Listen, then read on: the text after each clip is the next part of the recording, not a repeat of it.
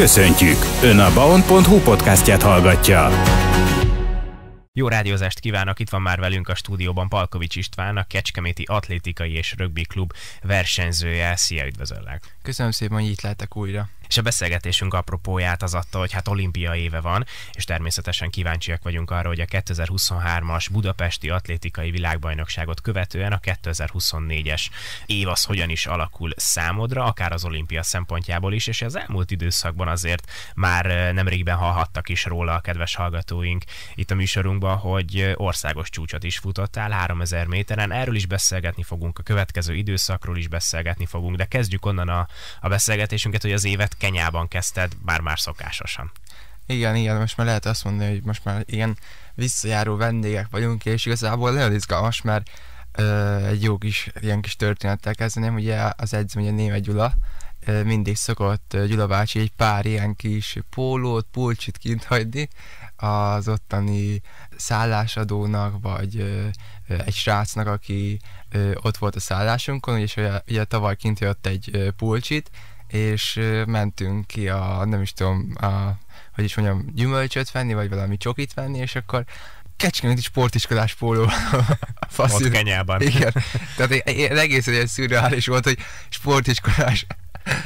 felső volt a srác, és nyilván megismertem a srácot, és oda mentem, és köszöntem neki, meg beszéltünk egy pár szót, de hát, hát tényleg egyszerűen, hogy már ott hagytuk a nyomunkat ott Kenyába, és hát nagyon vicces volt ez a helyzet, de maga Kenya Hát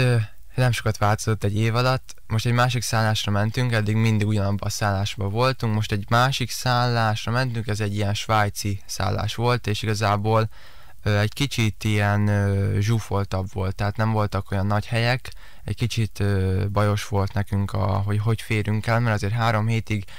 három férfi össze van zárva, akkor hát szűkös lesz a tér, és kicsit a, az elviselés szempontjából is nehezebben viseljük el egymást, és ebből is most kicsit ilyen konfliktusok voltak, am, ami igazából nem vészesek, csak ugye az is rámelt az edzésnek a rovására, és egyszer sajnos most a második héten, második hét végén, egy az utolsó hétnek az elején összeszedtem egy elég erős gyomorrontást, és hát az eléggé meghatározta igazából most a kenyát, mivel este ilyen 6-7 óra körül elkezdtem hányni, hasmenésem is volt mellette, tehát ami jött ki bőlem, az mindenki jött akkor, és 10-11 óráig borzasztóan voltam, 11 óra körül ö, elmentem még egyet WC-re, de már úgy, hogy a WC-n, WC előtt feküdtem egy ilyen magamnál hordott kis polifomon, és ott másfél órát feküdtem a WC előtt, tehát borzasztó volt, és ö, utána valahogy fölkeltem, aztán azt mondták, hogy elájultam, jött egy orvos, aki hozott valamilyen infúziót, az bekötötte nekem, kicsit jobban lettem tőle másnap, de borzat, egy két-három napig alig találtam magamat, és akkor ez, így, ez eléggé meghatározta így kenyát. Szerencsére egy öt nap alatt ki tudtam heverni, ami igazából egy ilyen csoda folytán volt, de az biztos, hogy Kenya az most kicsit úgy megmutatta nekünk azt is, hogy azért veszélyes tud lenni, mert egy ilyen gyomorrontást, mondjuk a Gyula bácsi szed össze, az, az, az nem lett volna túl egészséges, azért 73 évesen összeszedni egy ilyet, az nem úgy heveri ki, mint én, tehát azért ez így eléggé megrémisztett minket, mert azért én is, hát eléggé rosszul voltam, és ott azért messzi vagyunk otthontól is, meg tudja kicsit így a fejünket is kicsit így tépázni, hogy most mi lett volna, ha. De szerencsére ezt kihevertük, én mondom, egy hét után már tudtam jókat edzeni, csak sajnos utána már jöttünk is haza. Hát ugye Afrikában gondolom akkor az ételek miatt történhetett ez meg, vagy nem tudom,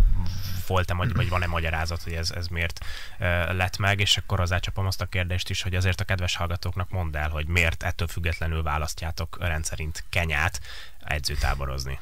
Itt ugye még hideg van eléggé, hogy így Európában és Afrika, ugye ez meleg égő, tehát magaslaton is van Kenya, tehát 2400-on edzeni a magaslati hatások miatt, a, több, a kevesebb oxigén miatt és visszajönni a, az oxigéndús állapotba ide Európába, az egy hatalmas nagy löketet hoz, és ugye mind nekünk ezért fontos Kenya, vagy ezért fontos ugye a magaslat, mert ez egy ilyen, tényleg egy hatalmas nagy lórúgás így a hosszú távfutásban, meg általában az összes ilyen sportákban. de igen, hát azért ez, ez egy ilyen gyomorrontás dolog, az nem, nem segített minket előre, mert ugye mi szoktunk rengeteg vérképet is csinálni, és hát kevesebb lettek, sokkal kevesebb értékekkel mentem ki, vagyis jöttem haza, amennyivel mentem ki, ami általában a dupla triplája szokott lenni, amikor hazajövök, tehát amit egész végig fölépítettünk januárban, azt egy-két-három nap alatt el is lőttem sajnos, szóval így a Kenya ez egy ilyen, egy ilyen fájó pont lett idén, de szerencsére sikerült kihozni belőle a maximumot még utána. Így van, hiszen egy országos csúcsot rögtön utána futottál, amelyről hamarosan beszélgetni fogunk, de ha már Kenya, ott kicsit a helyi életről is kérdeznélek. Erről már sokat beszéltünk, úgyhogy most olyan szempontból tenném fel a kérdést, hogy ugye most a labdarúgás legnépszerűbb mhm. sportág, pont az atlétikai világbajnokság mellett mondjuk a labdarúgó uh-huh. világbajnokság a legnépszerűbb esemény, sportesemény, és most Afrikában nemzetek kupája volt, ugye a labdarúgó nemzetek kupája. Ebből esetleg valamit tapasztaltatok? Tehát Afrikában kicsit más volt a hang, légkör, a hangulat emiatt, vagy, vagy ez nem volt érezhető? Hát nem tudom, hogy Kenyában ott azért hatalmas kultusza van a, a sportoknak, nem mondhatom azt, hogy a, az atlétikának, mert élnek, hal, halnak röplabdáért is, és egyszerűen olyan fantasztikusan játszák azt is, meg a focit is amúgy, jó, nyilván nem egy európai szinten, tehát nem úgy kell kézni, tehát beálltam volna, meg én is a, a, a botlábaimmal eltettem volna pár kötényt, de, de az a lényeg, hogy te, hát te ö, ott ennyire nem ott, ha mondjuk van egy ö, Chicago maraton, vagy van nem valami nagyobb ö, maratonverseny, vagy félmaraton, vagy egy émátliga, ott akkor azért jobban megőrülnek. De például, hogyha van mondjuk egy mezei verseny, ott ugye ittenben szokott lenni hatalmas nagy mezei verseny, ez egy cross-country verseny, és Hát hányan szoktak lenni? Hát néha, néha van Instagramon földobja, hogy hányan indulnak, ilyen ezren indulnak egy futamba, tehát akkora por vihar van ott, amikor elfutnak, hogy egyszerűen őrületes azt nézni, hogy 800 olyan atléta, hogy hát az nem emberi. Tehát az annyira fantasztikusan néz ki, amikor csak így elindul a boly, és akkor így, mint egy ilyen, nem is tudom, a víz, ahogy így hullámozna, mert ugye ilyen dombokon is átfutnak, és mennek, mint az őrültek, hát egyszerűen annyira, hát azok, az egyszerűen hihetetlen az, az amikor a, tényleg is a, van, van, szokott olyan lenni, hogy fölkapálják, és beöntik vízzel és egy ilyen, van egy ilyen 20-30 méteres szakasz, ami álló víz és sár. És azon átdúrnak úgy, mintha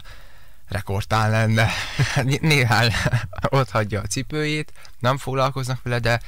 tehát egyszerűen imádják, és egyszerűen tényleg, tényleg ők, ők csak az atlétikára és a futásra építenek nem véletlenül van jó helyetek, úgymond mondjuk a gyomorron tehát leszámítva Kenyában. Innen folytatjuk már is a beszélgetésünket. Marad velünk Palkovics István, a karc atlétája, és arról is beszélgetni fogunk, hogy nem régiben, annak ellenére, hogy tényleg Kenyában összeszedett egy kis betegséget, hazajött, pontosabban Franciaországba ment, tehát Európába jött haza, és rögtön országos csúcsot futott. Tartsanak velünk! Folytatjuk műsorunkat, továbbra is itt van velünk Palkovics István, a Kecskeméti Atlétikai és Rögbi Klub versenyzője, és arról beszélgettünk az elmúlt percekben, hogy Kenyában kezdtétek ezt az évet is, csak úgy, mint az előzőt, ugye a Budapesti Atlétikai Világbajnokság évét is, és most az olimpia évét is Kenyában indítottátok magaslati edzőtáborban. Nem feltétlen sikerült olyan jól, már elmondtad, hogy miért, mint mondjuk a tavalyi, hiszen összeszedtél sajnos egy kis gyomorrontást, de ennek ellenére hazajöttél Európába, és rögtön Franciaországba vezetett az utad, ahol nem látszott meg az, hogy ez az edzőtábor ez nem úgy sikerült, ahogy elterveztétek. Igen, igen, szerencsére ott még nem látszódott, de az a baj, hogy hazajönni ö, Kenyából, hát macerás, meg hosszú, bármennyire is,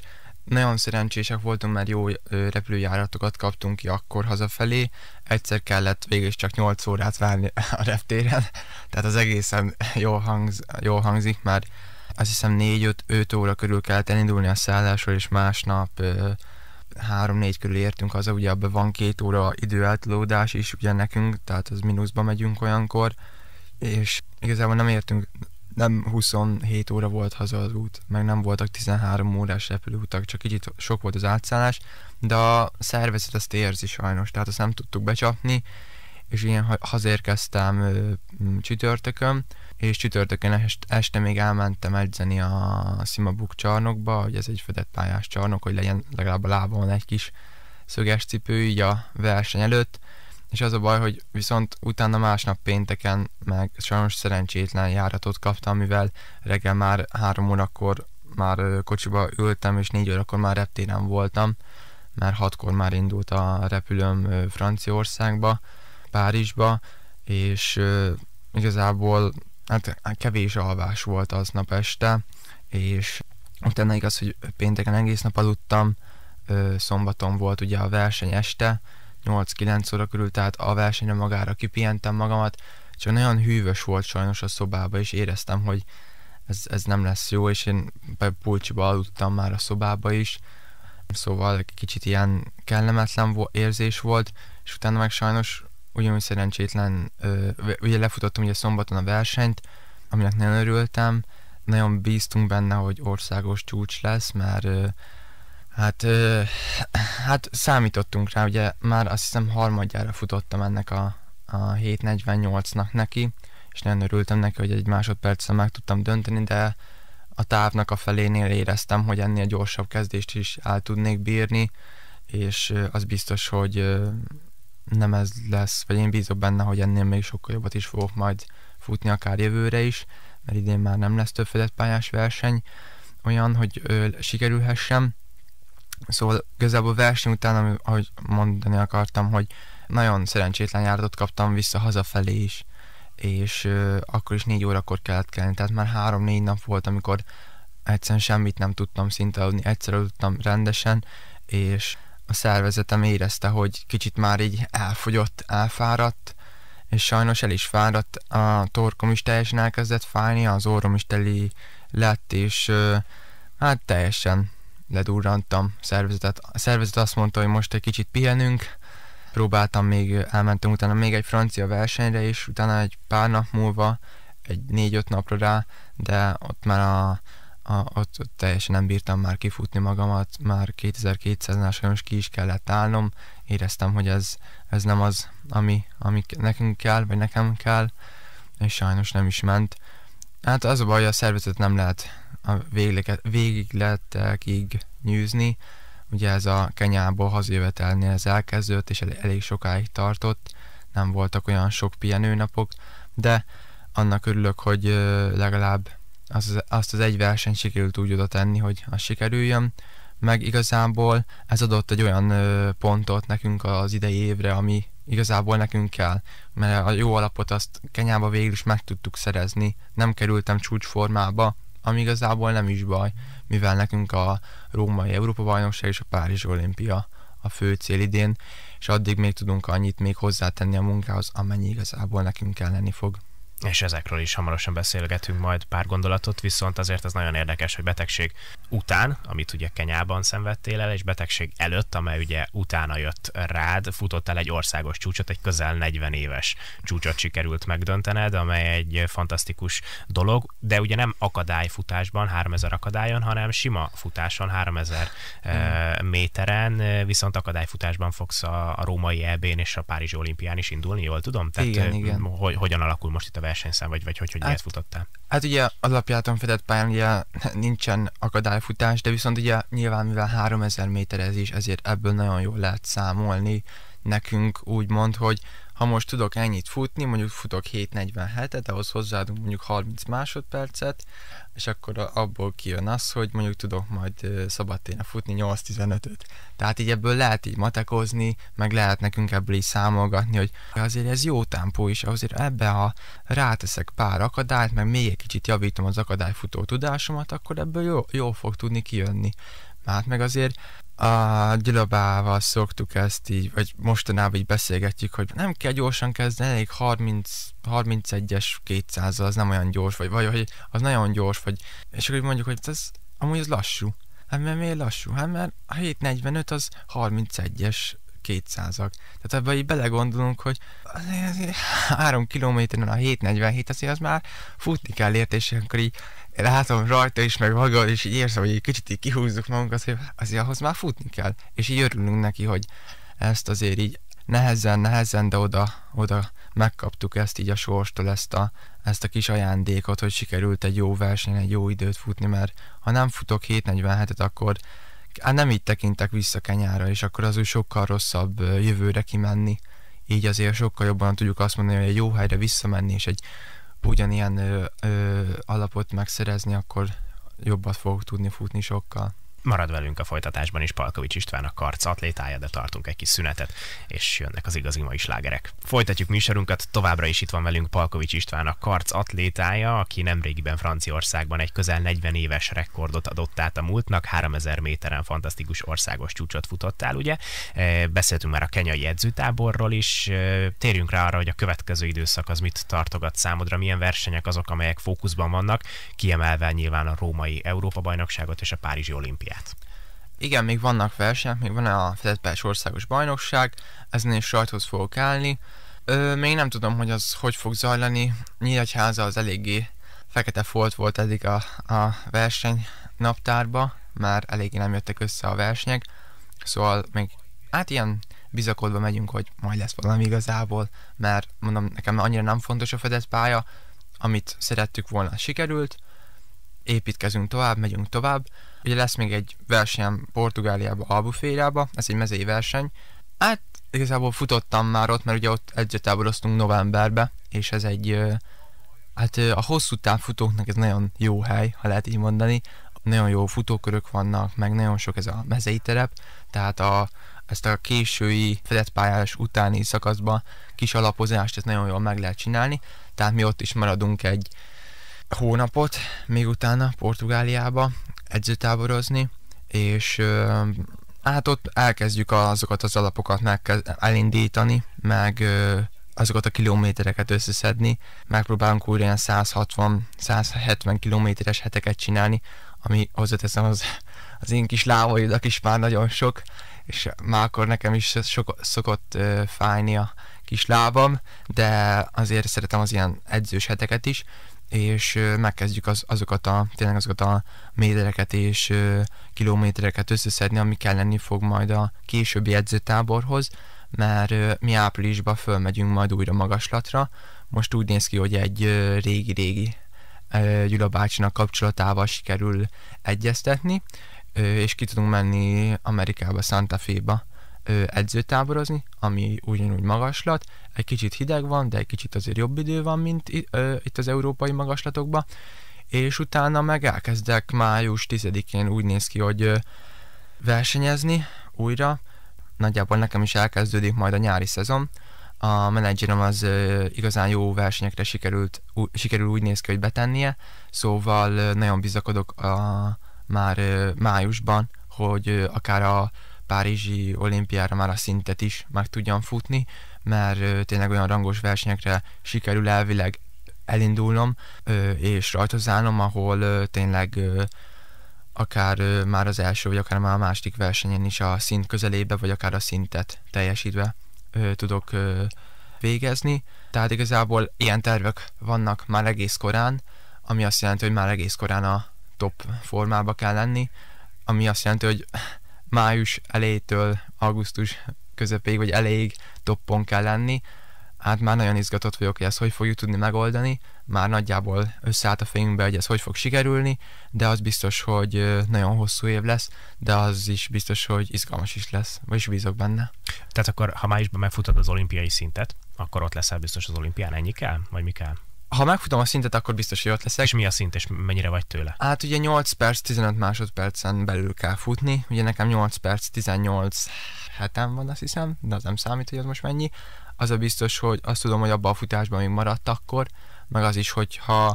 ha el tudjuk csípni ezt a amerikai Santa fe is magaslatot, ahol mi ugye még nem jártunk, az egy kicsit ilyen kérdőjeles, de magaslatnak biztos, hogy jó. És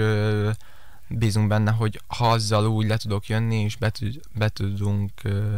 ö, férni egy olyan versenyre, amit tényleg igazán kell, akkor ö, szerintem nem lehet annak akadálya, hogy ö, a tavalyi eredményemet áthozva idénre, hogy pontokkal kiussak, vagy akár inkább szinttel. Mert én bízok magamba, hogy azt a három másodpercet még az idei évhez még hozzá tudom tenni. Reméljük, hogy ez tényleg így lesz, és bízunk benne, hogy akkor ott leszel az olimpián is, és, és nagyon szurkolunk neked. A római Európa bajnokság egyébként mikor lesz, azt is említsük meg, mert az is ugye fontos esemény. Igen, igen. Hát nagyon izgalmas, mert ugye június elején lesz, én is próbálkozok pár ilyen ismerőssel, meg baráttal, hogy jöjjenek el, mert hát Róma még nincs annyira messzi, hogy akár így meg, lehet, meg lehetne így közelíteni, tehát én, én, én bízok benne, hogy már maga Róma is egy ilyen versenyindításnak így a olimpia előtt egy nagyon, nagyon kis, hát meg azért Róma egy nem egy csúnya város, tehát meg maga Olaszország is gyönyörű, tehát én nagyon, nagyon bizakodok Rómával. Nyilván ugye a Müncheni EB-ből nem szeretnék indulni, mert az nem úgy sikerült, ahogy akartuk, de szerintem azóta rengeteget fejlődtem, és rengeteget komolyodtam maga a versenyzésemmel is, tehát sokkal tisztább fejjel versenyzek azóta. Bízok benne, hogy ez Rómában is majd látszódni fog ebben bízhatunk mi is természetesen, és én azt gondolom, hogy tényleg egy izgalmas időszak áll előtted, és egy izgalmas verseny, sorozat versenyév lesz ez a 2024-es is, úgyhogy én remélem, hogy még találkozunk addig, Párizsig, de akkor az van fő célban. Tehát egyértelmű, hogy a Párizsi olimpia most Igen. ennek az évnek a csúcspontja. Hát az biztos, hogy az lesz a, az évnek a megkoronázása, vagy én bízok benne, hogy az lesz majd a, az évnek a csúcsa, de hát biztos, hogy az az a legutolsó ö, időszak is a, a Párizsi olimpia, de hát még messzi van. Na azért tényleg egy, ez, ez egy hosszú földetpályás, és hosszú január volt. A január alapjáraton elég hosszú, de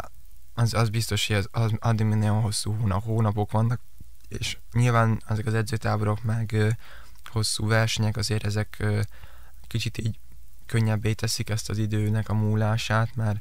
de, de sok idő van addig, és még nagyon sokat kell ahhoz teljesíteni, hogy az össze tudjon jönni. De bízok magamban, bízok az edzőmben, Gyula bácsiban, és szerencsére a család is olyan támogatást tud adni, és olyan pozitív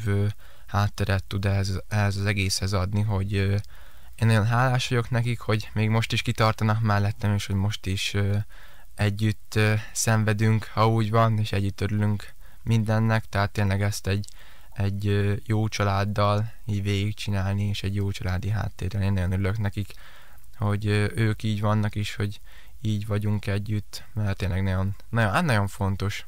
Nagyon fontos nekem. Neked nem szokott egyébként honvágyad lenni, ha már ezt így behoztad? Tehát nagyon sokat vagy külföldön, folyamatosan Hát igen, van. igen. Most a, most a barátnőmmel számolgattuk, hogy egészen sokat leszek távol, nagyjából hát a fél évet, kicsit, kicsit többet is, mert ugye ezek a egy hónapos edzőtáborokból is lesz három vagy négy, plusz a versenyek, abból is egy egy-két hónap kijön, tehát nagyon sokat leszek távol, de mondtam a szülő, szüleimnek, én nagyon sokat köszönök, mert tényleg apa is még hoz vissza reptérre, ami azért néha van, hogy nagyon korán kell kelni, de néha meg teljesen jól kijön, tehát igazából nagyon, sok, nagyon sokat köszönhetek nekik így tényleg, és nagyon hálás vagyok ezért nekik hogyha erre az évre kellene valami álomszerű forgatókönyvet megjósolnod, akkor, akkor mi lenne az?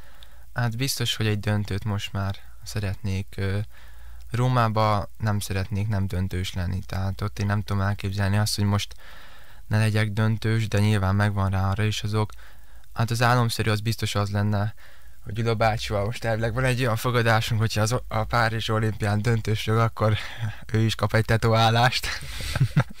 Nincs még neki? De még nincsen, mert még nincsen olimpikonja, még nem volt, de elvileg ezt beszéltük meg egy gyengébbik napján ott kint Kenyába azt mondta, hogy ha döntős leszek az olimpián, akkor ő is fölvarratja az öt karikát. Hát tehát ha háromszerűt kéne mondani, akkor én ezt, ezt mondanám örülnék neki. És akkor te is maradsz magadra, hogyha... Meglátjuk, én, én nem biztos, de ő biztos.